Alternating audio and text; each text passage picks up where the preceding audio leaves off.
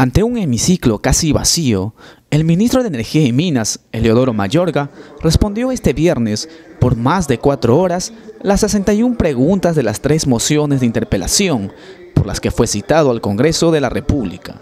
Durante su presentación, el titular del MEN resaltó que su actuación en el caso Interol fue bajo el marco legal que rige al sector hidrocarburos, señalando que se respetaron los procesos y que no hubo conflicto de intereses en la firma de dicho contrato con la empresa petrolera. Señores congresistas, es cuestión de sentido común. ¿Cómo un ministro va a influenciar a los 40 profesionales que intervienen en la aprobación de un contrato petrolero? Este es un tema de sentido común. Simplemente es imposible. Sería desmerecer el trabajo de todos los expertos técnicos y legales decirles que actúen en una u otra dirección.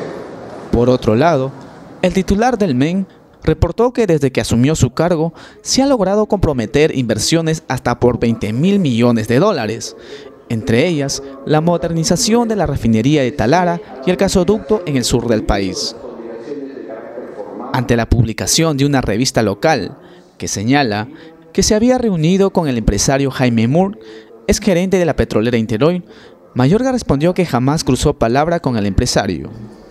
Quisiera aclarar que alguna revista sacado información falsa, en el sentido de que el ministro Mayorga estuvo presente en esa reunión.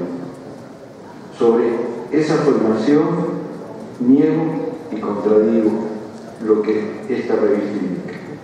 El señor Eleodoro Mayorga no participó en esa reunión y ni siquiera se encontraba en la ciudad de Nueva Orleans en el momento de la reunión con Jaime Moore, según se puede comprobar con los itinerarios oficiales de vuelos de las tres personas.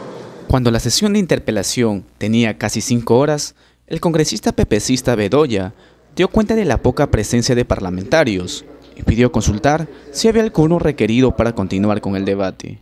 Al pasar asistencia, solo 53 congresistas dieron respuesta, cuando se necesitaba 58 para seguir con la sesión.